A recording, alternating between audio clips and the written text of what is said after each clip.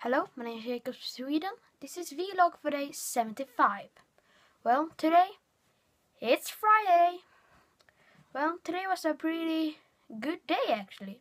In the morning, I went to hospital, took a blood sample, done in 20 minutes. Then I went to school, had a normal school day, kind of.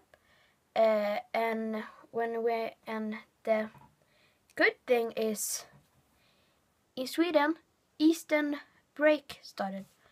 So yeah, Easter, happy Easter, uh, or next weekend, next Saturday or Sunday, I don't know, is the Easter.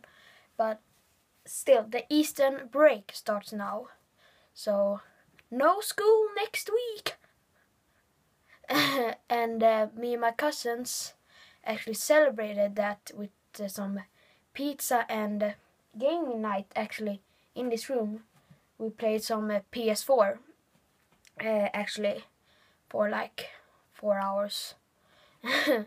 Uh, actually we celebrated a little bit. Uh, so yeah. But uh, except from that normal day but uh, it was a gaming night. Actually kind of late now and I'm going to bed. My legs I don't have any pain actually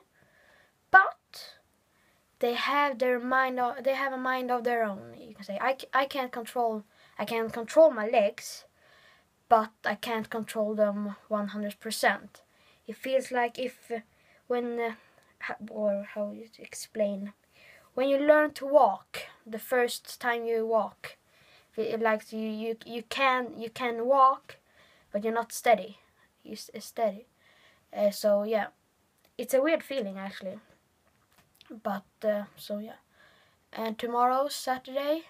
Uh, I don't know about I don't know anything special will happen, but hopefully it will be a good day.